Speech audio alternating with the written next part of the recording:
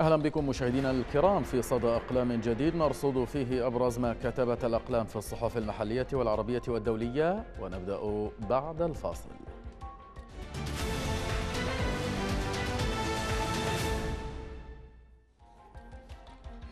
البداية من مقال للكاتب إياد الدليمي في صحيفة العربي الجديد بعنوان عن تغيير قادم في العراق.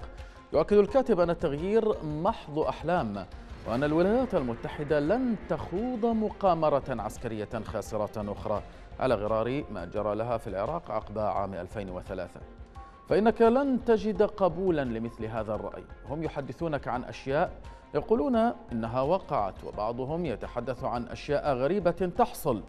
لا يمكن لها أن تقع من دون أن تكون لها خلفية هنا أو هناك. فعلى سبيل المثال تضج صفحات التواصل العراقي بأخبار رفع تمثالي قاسم سليماني وأبو مهدي المهندس. إزالة وقعت بالفعل رغم نفي الجهة المشرفة عليهما بأن الإزالة نهائية. مؤكدة أن التمثالين أزيلا مؤقتا كونهما من مادة البوركون وسيتم تصنيع تماثيل أخرى لتنصب بشكل دائم. السفيرة الأمريكية إلينا رومانسكي تتجول في مختلف مدن العراق وتلتقي بمختلف الشخصيات والفعاليات العراقية الرسمية وغير الرسمية والعشائرية والاجتماعية والثقافية. والسفارة الأمريكية لم تعد تتعرض لرشقات من صواريخ كاتيوشا تطلقها ما تسمى فصائل المقاومة بل لم تمانع الولايات المتحدة وجود وزراء في حكومة محمد الشيع السوداني.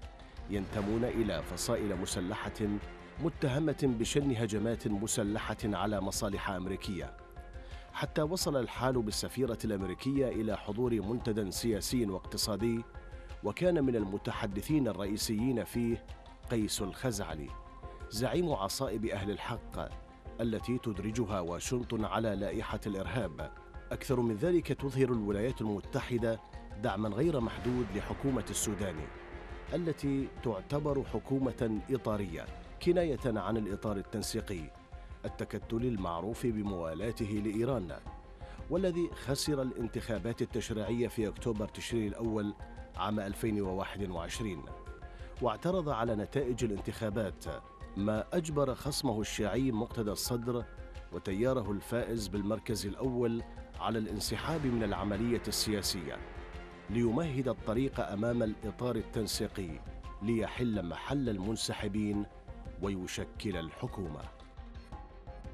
كشفت مصادر مطلعة لصحيفة المدى في سجن الحوت جنوب غرب الناصرية عن تسجيل 24 حالة وفاة بين المحكومين بالإعدام خلال الأشهر الستة الماضية. فيما عزى مكتب مفوضية حقوق الإنسان جانبا من الأسباب إلى الاكتظاظ وانتشار الأمراض النفسية والمعدية بين نزلائه. والذي يضم نحو ثلاثة أضعاف ورصدت طاقته الاستيعابية صحيفة المدى 24 حالة وفاة أكدتها الصحيفة أنها وقعت في الفترة ما بين أواسط تشرين الثاني 2022 إلى مطلع أيار من العام الحالي. وتكشف المعلومات المتاحة أن أعمار السجناء المتوفين تتراوح ما بين 26 سنة وتصل إلى 80 وأن معظمهم من النزلاء المحكومين بالإعدام وفق المادة الرابعة من قانون مكافحة الإرهاب وأن البعض منهم صادر بحقه أكثر من حكم إعدام. تعود أسباب الوفاة بحسب تلك المعلومات إلى إصابات بأمراض التدرن الرئوي وأمراض مزمنة والذبحة الصدرية ووعكة صحية طارئة. يتوفى النزيل على إثرها أثناء نقله إلى المستشفى وسرطان الجلد وأسباب أخرى غير معروفة. في حين تعود أسباب إحدى حالات الوفاة إلى انتحار أحد النزلاء شنقا في حمامات السجن الذي يخضع لحراسة مشددة. وكشف مكتب المفوضية العليا لحقوق الإنسان في ذي قار عن اكتظاظ غير مسبوق في سجون الناصرية. مشيرا إلى أن سجن الحوت الذي يختص بالأحكام الثقيلة بات يضم نحو 13 ألف نزيل وهو ما يفوق طاقته الاستيعابية المقدرة بأربعة آلاف وخمسمائة نزيل بثلاث مرات تقريبا. وقال مدير مكتب المفوضية داخل عبد الحسين المشرفاوي في حديث مع المدى إن سجن الناصرية للأحكام الثقيلة يعاني من شدة الاكتظاظ وهذه مشكلة لها تداعياتها على حياة النزلاء ولا سيما من يعانون من الأمراض المزمنة. بعد عام على مقتل شيرين أبو عاقلة العدالة لم تتحقق وإسرائيل لم تغير أساليبها. ففي تقرير أعده ستيف هاندريكس لصحيفة واشنطن بوست قال فيه إنه بعد عام على مقتل أبو عاقلة وهي تغطي عملية عسكرية للجيش الإسرائيلي في مخيم جنين بالضفة الغربية برصاص القوات الإسرائيلية على الأرجح لم يجري توجيه اتهامات ضبط أو تحميل الجيش مسؤولية القتل ولن يحدث هذا بحسب تحليل جديد لمقتل أبو عاقلة رغم الشجب الدولي الذي أحدثته جريمة القتل إلا أنها تحولت إلى مثال عن الطريقة التي تستطيع من خلالها إسرائيل تجنب المساءلة. ركزت لجنة حماية الصحفيين ومقرها نيويورك على عشرين حالة صحفي ومراسل قتلوا برصاص القوات الإسرائيلية منذ عام 2001 ووجدت اللجنة تشابها منظما في الرد الإسرائيلي وحالة أساسية في كل منها وهي أنه لم توجه أي تهم لتحميل المسؤولية في أي منها للجيش. وقال روبرت ماهوني مدير البرامج الخاصة في لجنة حماية الصحفيين وأحد المشاركين في التقرير إن قتل شيرين أبو عاقلة يلخص كل شيء خطأ في العملية وبدءا من السرديات المضللة أو الكاذبة التي تقدم مباشرة ثم يتم التخلي عنها ببطء حتى نصل إلى النقطة الحقيقية بعد خمسة أشهر عندما قال تقرير داخلي للقوات الإسرائيلية إن هناك إمكانية كبيرة أن القوات أطلقت النار خطأ على شيرين.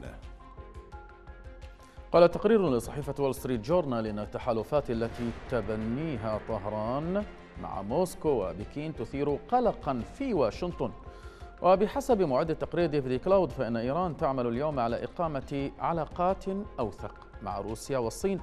على أمل تخفيف مشاكلها الاقتصادية وبناء محور جديد قوي من القوى القادرة على مواجهة الغرب الذي تقوده الولايات المتحدة.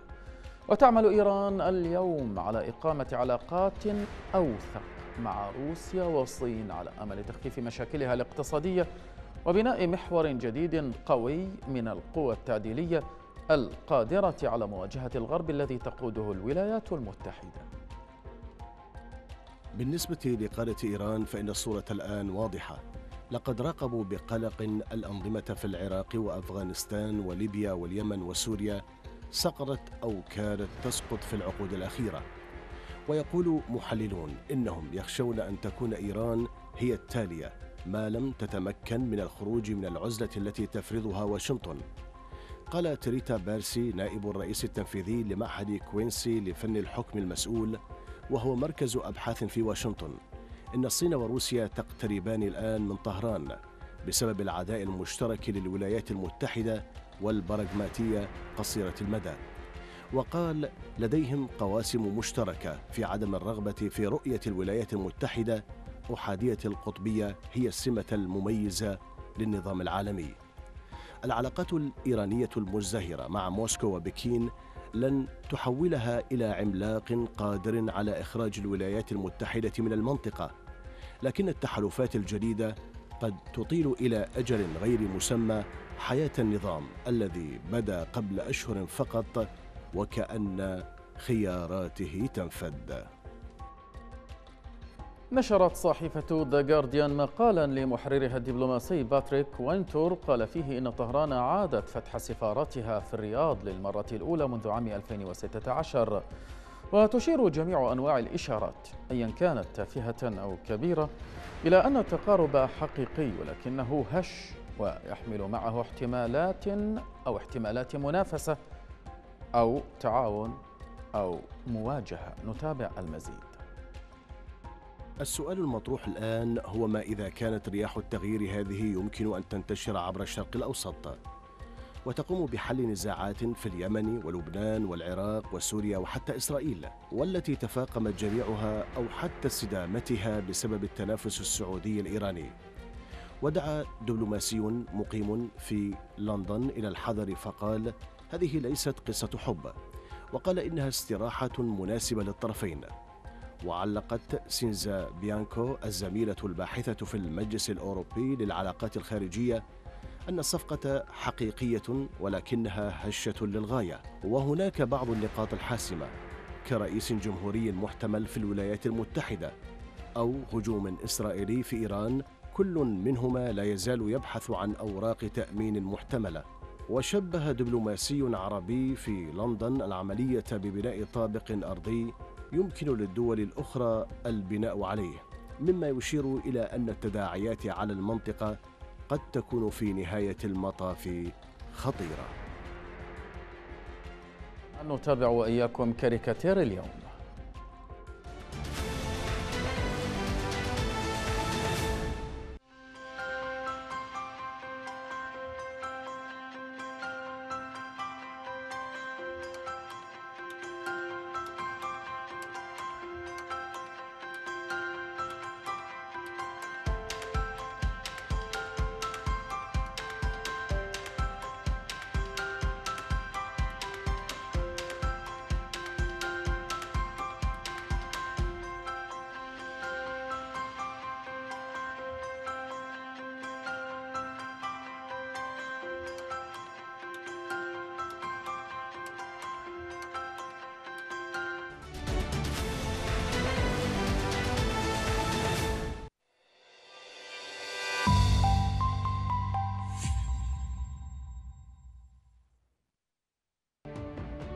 بلا جدران تقيهم حر الصيف وبرد الشتاء. أخرجوا من ديارهم. غائبون لا صوت لهم. بلدهم يطفو على بحر من النفط. تصارع أكفهم قسوة الحياة. هدموا كل ما هو جميل وأساءوا لحاضرة الدنيا. حتى استغاث منهم تراب الرافدين. لكن أحفاد ثورة العشرين سيكسرون القيد. ويبذلون المهاجاة ويعيدون الحياة. لن تكتم الأفواه ولن تحبس الألسن فنحن صوتكم.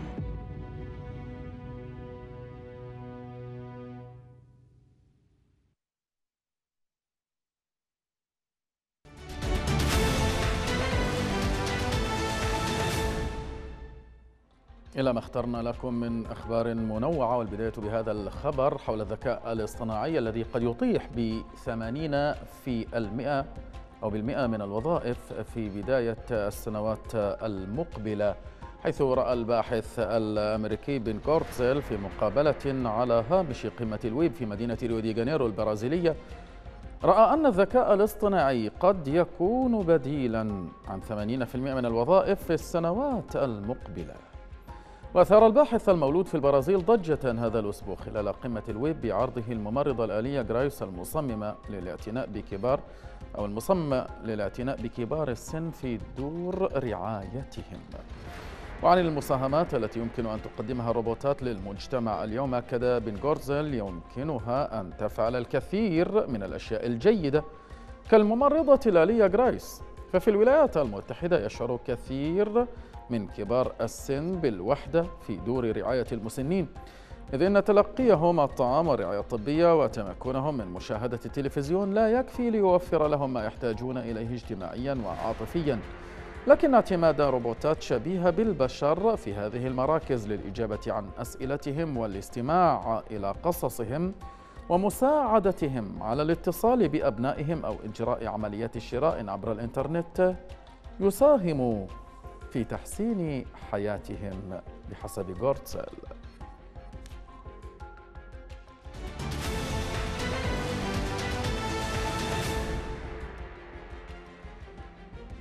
في نيويورك فتح مركز ريتشارد جيلدر للعلوم والتعليم والابتكار. المبنى الجديد التابع للمتحف الأمريكي للتاريخ الطبيعي. فتح أبوابه للجمهور. وتم تصميم المركز الذي تبلغ تكلفته 465 مليون دولار من قبل المهندس المعماري جين جانغ.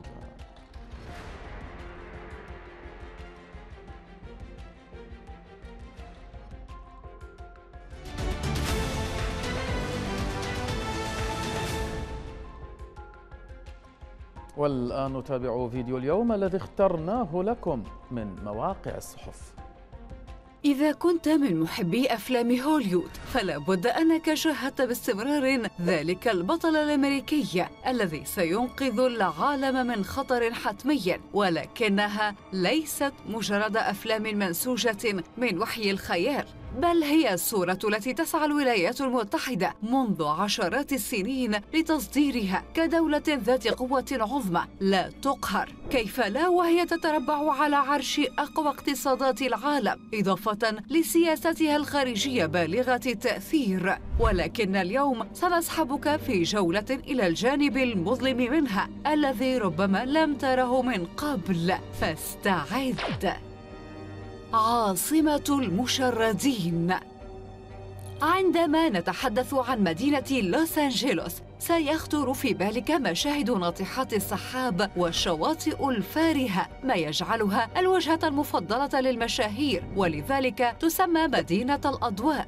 لكن ما يجهله الكثير أنها تسمى أيضا عاصمة المتشردين. إذ يوجد أكثر من ستين ألف متشرد في شوارعها وليست المدينة الوحيدة فأمريكا التي تعد أغنى دولة في العالم. يوجد فيها قرابة 600 ألف شخص بلا مأوى يسارعون الفقر والتشرد ويتخذون من الأرصفة ملجأ لهم. في إحصائية رسمية لعام 2022 نظرا لارتفاع معدلات البطالة وغلاء أسعار الإيجار مقابل الأجور المتدنية.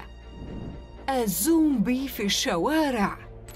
تمشي في شوارع الولايات المتحدة في وضح النهار. ترى أشخاصا يتصرفون بشكل مريب كآكلي لحوم البشر. في مشهد لم تره سوى في أفلام زومبي لكن في الواقع ما تراه هو تأثير المواد المخدرة الخطيرة التي تنتشر بشكل كبير في البلاد وتباع في الشوارع كالفينتانيل والزيلازين والهيروين. إذ توفي أكثر من مئة ألف شخص بسبب جرعة مخدرات زائدة عام 2021 فقط في ارتفاع قياسي مقارنة بالسنوات السابقة وسط عجز الدولة عن إيجاد حل للحد من هذه الظاهرة الخطيرة. كابوس السلاح. أكثر من 170 عملية إطلاق نار جماعي سجلت منذ بداية عام 2023 فقط مقابل 647 جريمة خلال عام 2022 أرقام صادمة تشير إلى تفشي حوادث إطلاق النار وانتشار السلاح بشكل كبير بين المدنيين في الولايات المتحدة التي يمتلك أكثر من ثلث سكانها سلاحا واحدا على الأقل. وسط مطالبات سياسيين أمريكيين ونشطاء بالتحرك لاتخاذ الإجراءات اللازمة للحد من هذه الحوادث ما دفع الرئيس جو بايدن للتوقيع في يونيو 2022 على يفرض قيودا جديدة على حيازة الأسلحة كالتأكد من السجلين الجنائي والنفسي لكل شاب يتراوح عمره بين 18 و 21 عاما ويرغب في شراء سلاح. ولكن رغم ذلك ما زالت حوادث إطلاق النار تتصاعد بشكل مستمر. والآن ما زلت تعتقد أن الولايات المتحدة دولة آمنة.